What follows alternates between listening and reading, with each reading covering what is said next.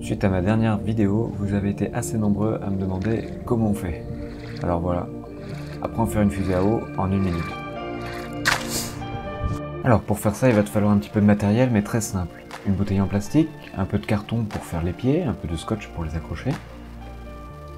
Ensuite, il te faudra de l'eau, à remplir à peu près au tiers. Si t'en mets pas assez, elle aura pas de quoi se propulser. Si t'en mets trop, elle sera trop lourde, elle va pas aller bien haut. Ensuite, un bouchon de liège. Alors, le bouchon de liège, il faut qu'il soit parfaitement adapté à ta bouteille.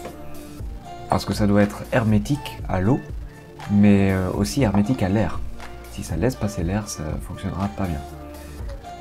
Donc ça va être difficile à, ça doit être difficile à mettre.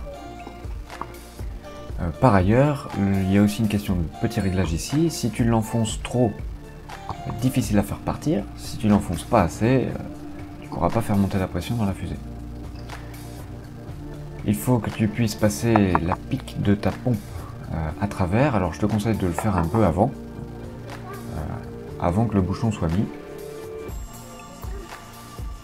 Il faut que la pique ressorte de l'autre côté du bouchon. Donc éventuellement, il faut couper ton bouchon. Ensuite, bah, il n'y a plus qu'à. Hein. Donc tu mets l'eau, tu mets le bouchon et tu branches ta pompe.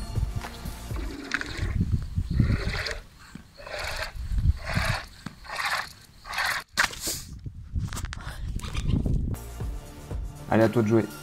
Pense à t'abonner, activer la cloche. A bientôt, prends soin de toi et de tes proches.